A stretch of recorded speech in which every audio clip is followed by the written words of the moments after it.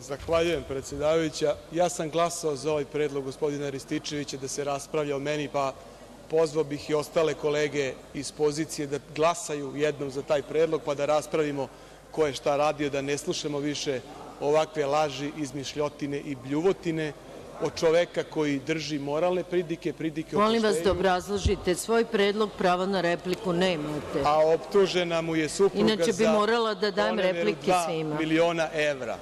Poslaniče, molim vas da poštujete Poslovnik. A mogli ste da opomenete i njega, pošto je sve vreme govorio o nečemu Poslaniče, poslaniče, molim vas, ja nisam opomenula ni vas kad ste iznosili određene špekulacije. Nisam pom- pomenula ni je- jednog poslanika. Budite vi jednako senzitivni, pa izdržite kritiku nekog drugog.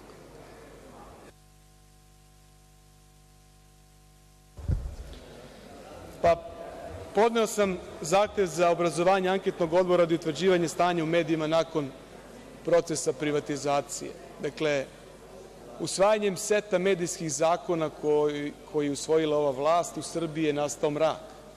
Dakle, danas u Srbiji građani ne mogu da dođu do istine zato što se njihovim parama iz budžeta finansiraju provladini režimski mediji i tabloidi koji imaju za cilj da obmanjuju građane Srbije, da ih dovode u zabludu i da stanje u državi Srbiji predstavljaju drugačije nego što zaista jeste. I to je i kršenje Ustava i kršenje zakona, ali to je svojstveno vašoj vlasti zato što ste navikli da ne poštujete ni institucije, ni zakone, ni Ustav, smatrate da ste Bogom dani da možete da radite u državi Srbiji šta god hoćete.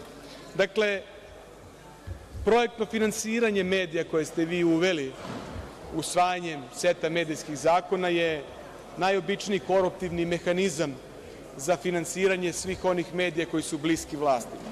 Pored toga što finansirate lokalne i regionalne medije koje, su kupili i privatizovali nekoliko vaših stranačkih funkcionera ili ljudi bliski stranci, da biste u lokalnim sredinama zabranili da se čuje bilo kakav kritički glas u odnosu na vlast Republike Srbije, vama nije strano ni da iz budžeta direktno dajete novce vašim televizijama, pa ste tako Pinku dali 10 miliona evra iz Agencije za osiguranje i finansiranje izvoza.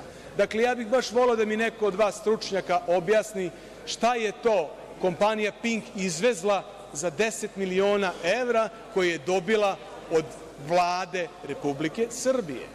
Dakle, zato tražim anketni odbor i tražim zbog toga da se utvrdi da li Srbiji treba, trebaju na ovakav način organizovani rijaliti programi gde pojedini učesnici vade pištolje, gde govore viceve na račun tragično stradale Milice Rakić, gde REM ne reaguje kad se Oliveru Ivanoviću crta meta na čelu i čovek je izgubio život i niko nije snosio odgovornost za to. Trebali biste da odgovorite ko je naručio spot za Olivera Ivanovića koji je emitovan tokom izbora na Kosovu, ko je platio, ko je finansirao to Pinku i naravno da odgovorite i ko su vlasnici televizija, ko su stvarni vlasnici, ko su formalni vlasnici, na koji način se troše budžetske pare.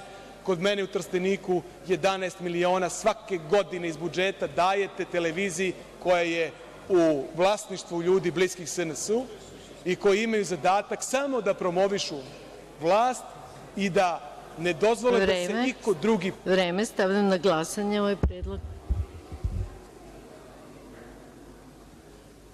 Zaključujem glasanje. Za je glasalo osam, protiv niko, uzdržan niko. Konstatujem nije prihvaćen predlog.